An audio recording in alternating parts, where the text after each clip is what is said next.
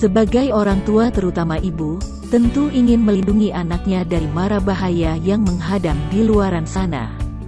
Demikian juga yang diinginkan Paula Verhoeven, hendak menjaga Keanu Tiger Wong. Kendati Paula Verhoeven sendiri disibukkan dengan pekerjaan dan mengurus Kenzo El Drago Wong, putra keduanya.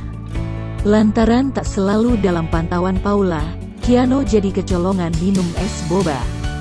Hal ini membuat Paula menegur Baim Wong karena sudah mengizinkan Keanu mengonsumsi boba. Paula tegur Baim saat mereka akan istirahat tidur malam. Gegara Keanu mengaku minum boba padahal Paula telah melarangnya. Baim berujar lagi bila Keanu makan sate. Reaksi bingung Keanu berujung sentilan Paula kepada Baim. Kamu jangan ngajarin bohong dong, ucap Paula.